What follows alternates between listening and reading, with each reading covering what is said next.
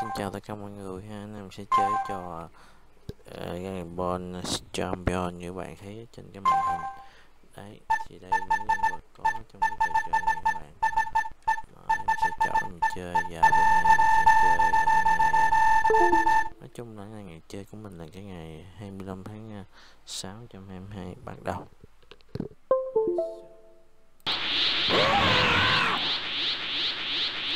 Ready, bắt đầu. Fight! Yeah!